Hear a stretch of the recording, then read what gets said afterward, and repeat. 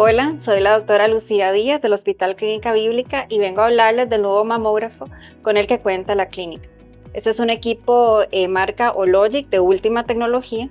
Es un equipo que es con tomosíntesis, que es lo que llaman mamografía 3D.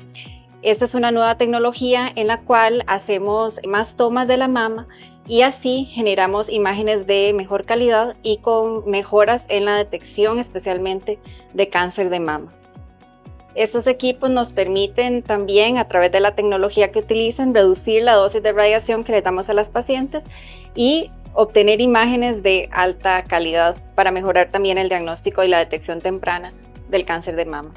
Otra cosa importante que hace este equipo es que utilizamos imágenes 2D no sintetizadas y eso nos permite también ver microcalcificaciones con una mejor detección que cuando se hacen las proyecciones 2D sintetizadas. Nos da una mejor comodidad para la paciente porque tiene eh, los chasis especiales para reducir el dolor que generaban los equipos anteriores y se acomoda ergonómicamente a la mama de la paciente. Estas imágenes son enviadas a un PAX que también tenemos un software especializado que nos permite también a través de este, sistemas de detección temprana mejorar el diagnóstico que les damos a las pacientes.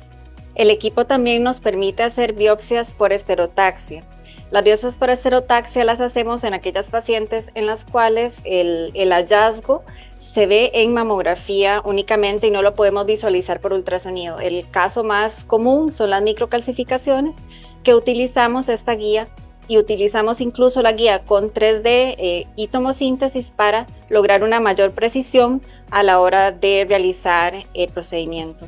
La otra cosa muy importante es que ahora vamos a contar con la tecnología que es la biopsia al vacío, en la cual utilizamos agujas de mucho mayor calibre, hasta incluso 7 gauge, para lograr extraer lesiones de hasta 3 centímetros. ¿Qué quiere decir esto? En pacientes con fibroadenomas, lesiones benignas de la mama, adenosis esclerosante, por ejemplo, eh, hiperplasias eh, ductales, en las cuales eh, la paciente no necesariamente tendría que ir a cirugía, podemos utilizar esta tecnología para eh, extraer lesiones, incluso nódulos de hasta 3 centímetros, mediante estas biopsias al vacío. Este equipo lo tenemos en la sede de San José y esperamos recibir a sus pacientes para poder brindarles la mejor tecnología y el mejor diagnóstico para la detección temprana del cáncer de mama.